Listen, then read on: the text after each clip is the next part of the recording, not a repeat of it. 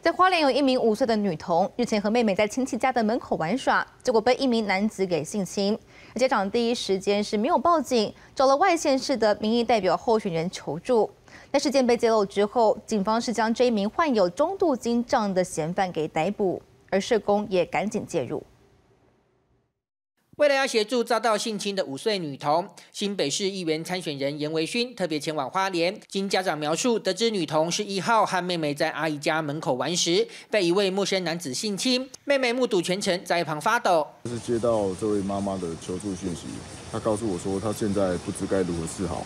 然后我们就立即前往花莲，来到这里，才发现说事情非常的严重，必须要立即报警处理。警方接获报案后，立刻逮捕涉案男子。县府社会处也紧急介入，发现女童家原本就是县府在案的脆弱家庭，因故不相信警政与社政系统。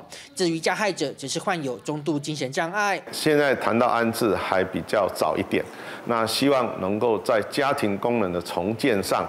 啊，来达到照顾的功能啊，这个相对人的部分，那我们还是会跟警方做密切的联系。嫌犯未收押，是否对社区会有影响，引起关注？加上严维勋第一时间公布的相片没有做遮蔽处理，恐以违反儿少法，极有可能对女童造成伤害。他其实已经足以辨识未成年的受害者。